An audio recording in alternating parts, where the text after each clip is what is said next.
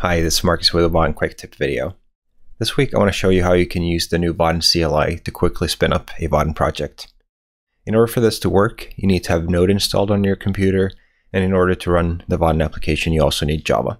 So if you have those two things installed, let's get started. So there are a couple different ways you can do this. The first is through using npx if you don't want to install it. So you can just run npx and then the package name, Vaadin CLI, then run init, and give the project a name. All right, so that will create us a new application called Flow in this instance using the default switches using Vaadin Flow and the current LTS version, Vaadin 14. So if we go into the application here, let's open it up in the IDE just see what we have here. You'll see that we have a standard uh, Vaadin project with the front end folder and the Java source folder here. All right, so that's one way of doing it, just using npx. Uh, let's go back one folder up. Now let's install it so we can use it more conveniently without the npx uh, prefix.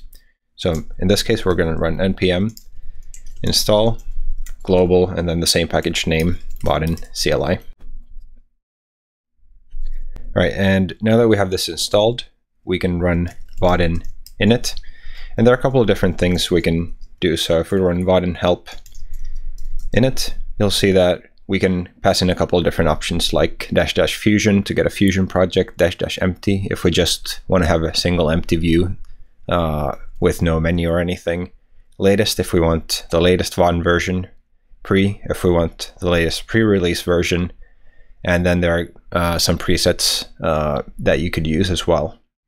So let's just take a look at how we could create a Vaadin Fusion project then. So we can run Vaadin init fusion dash dash fusion like this. Right, go into the fusion project and exactly the same as with the flow project, we have a standard Vaadin project here. One thing to notice that the projects now include a Maven wrapper, so you can start them uh, even if you don't have Maven installed on your command line. So you can just run the Maven wrapper uh, and that will start the project like this. All right, that is it for this week's Vaadin tip. Hope that was useful for you. Stay tuned for another video and ask us any questions in the comments below. Thanks. Bye.